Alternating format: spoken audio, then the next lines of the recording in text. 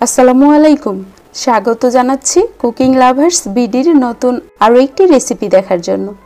আজকের পর্বে নুডলস দিয়ে খুবই ঝটপট এবং ভীষণ মজাদার একটি নাস্তা তৈরি করে দেখাচ্ছি।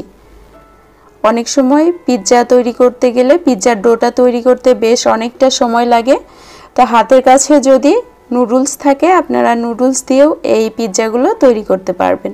আশা করছি রেসিপিটি ভালো লাগবে। চলে যাচ্ছি মূল পর্বে। প্রথমে চুলায় কিছুটা পানি বসিয়ে দিয়েছি। চুলা রাসটা মিডিয়াম হাইতে আছে। খুব ভালো মতো ফুটে আসলে এক চা চামচ সয়াবিন তেল দিলাম। এবার এর মধ্যে দুই প্যাকেট নুডলস দিয়ে দিচ্ছি। নুডলসগুলোকে পুরোপুরি সিদ্ধ করব না, এইটটি পারসেন্টের মতো সিদ্ধ করব। একটু মিশিয়ে দিচ্ছি। চুলা রাসটা মিডিয়াম হাইতেই আছে। এর মধ্যে ওয়ান থার্ড কাপ কিউব করে কাটা গাজর দিয়ে একই সঙ্গে সিদ্ধ করে নিলাম। নুডলসগুলো এখন এইটি পারসেন্টের মতো সিদ্ধ হয়ে গেছে। এবার স্টেইনারে উঠিয়ে নিয়ে নুডলসগুলোকে পানি দিয়ে ভালো মতো ধুয়ে নিচ্ছি। এতে করে নুডলসগুলো আর আঠালো হবে না। আমি স্বাভাবিক তাপমাত্রার পানি দিয়ে এই নুডলসগুলোকে ধুয়ে নিয়েছি। এবার স্টেইনারে এরকম করে ছড়িয়ে রেখেছি যাতে অতিরিক্ত পানিগুলো পড়ে যায়। নুডলসের পানিগুলো পুরোপুরি পড়ে গেছে। এবার একটি মিক্সিং বলে নুডলসগুলোকে নিয়ে দুটি স্বাভাবিক তাপমাত্রার ডিম দিয়ে দিলাম। দুই প্যাকেট নুডলসের জন্য দুটি ডিমই যথেষ্ট। আধা কাপ পেঁয়াজ কুচি দিয়ে দিলাম। কাঁচামরিচের কুচি দিয়ে দিলাম এক টেবিল চামচ। আর নুডলসের সঙ্গে যে মশলাগুলো ছিল, সেই দুই প্যাকেট মশলা দিয়ে দিলাম। এক চা চামচের আট ভাগের এক ভাগ অরিগ্যানো দিলাম। আর দিয়ে দিলাম এক টেবিল চামচ কর্নফ্লাওয়ার এবার সব কিছুকে খুব ভালো করে মিশিয়ে নিচ্ছি। আমি এখানে বাইন্ডিংয়ের জন্য কর্নফ্লাওয়ার দিলাম। আপনারা কর্নফ্লাওয়ারের পরিবর্তে ময়দা বা চালের গুঁড়াও দিতে পারবেন। এ পর্যায়ে লবণ দিয়ে দিলাম। স্বাদ মতো আমি এক চা চামচের একটু কম লবণ দিয়েছি। আবারও সব কিছুকে খুব ভালো করে মিশিয়ে নিচ্ছি। আমি এখানে গাজর দিয়েছি। আপনারা চাইলে আপনাদের পছন্দ মতো অন্য যে কোনো সবজিও দিতে পারবেন। ভালো মতো মিশিয়ে নিয়ে কিছু সসেস দিয়ে দিলাম। আপনাদের হাতের কাছে যদি মুরগির মাংস থাকে, আপনারা চাইলে এর মধ্যে মুরগির মাংস দিয়ে নিতে পারবেন। খুব ভালো করে মিশিয়ে নিয়েছি। এবার চুলায় একটি প্যান বসিয়ে সামান্য একটু তেল দিয়ে দিলাম। দুই থেকে তিন চা চামচের মতো হবে। চুলার আঁচটা কিন্তু একেবারেই লোয়ে আছে। এবার নুডলসের মিশ্রণ দিয়ে চারপাশ থেকে একটু এরকম করে গোল করে দিচ্ছি। চুলার আঁচটা কিন্তু বাড়িয়ে দেওয়া যাবে না। ঢাকনা দিয়ে অপেক্ষা করছি।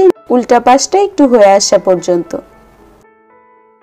লো হিটে রেখেছিলাম প্রায় তিন মিনিটের মতো। এরপরে ঢাকনাটা খুলে নিয়ে একটি প্লেটের মধ্যে উল্টে নিলাম। প্যানে আবারও এক চা চামচের মতো তেল দিয়ে নুডলসের কেকটাকে আবারও বসিয়ে দিলাম। চারপাশে সমান করে উপর থেকে কিছুটা টমেটো সস দিয়ে দিলাম। এবার সসগুলোকে সব দিকে খুব ভালো মতো ছড়িয়ে দিচ্ছি। আমি এখানে টমেটো সস দিলাম। আপনাদের হাতের কাছে যদি পিৎজা সস থাকে, আপনারা চাইলে কিন্তু পিৎজা সসও দিতে পারবেন। এবার কিছুটা মোজেরেলা চিজ ছড়িয়ে দিলাম। চিজের উপরে চিকন করে কাটা টমেটো দিয়ে দিচ্ছি। আপনাদের হাতের কাছে যদি ক্যাপসিকাম থাকে, ক্যাপসিকাম দিতে পারবেন। আর মাঝে একটা করে সসেস দিয়ে দিলাম।